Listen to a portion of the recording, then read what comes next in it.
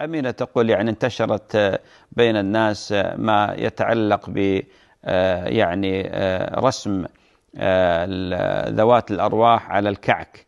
وتقول يبدون بتقطيعها بالسكين وشيء من هذا القبيل. تقول يعني الله عز وجل كرم الإنسان فما حكم هذا الفعل؟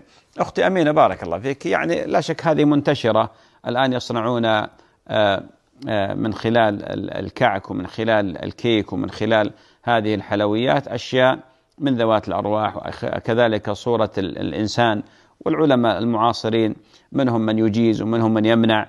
من يجيز يقول هذا في النهاية سيؤكل وليس فيه امتهان آه، للإنسان وليس فيه وليست هذه من الصور المقصود التي جاءت التنبيه عليها في الأحاديث والتحذير منها.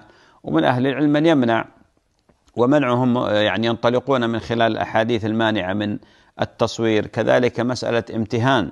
الإنسان خاصة الوجه.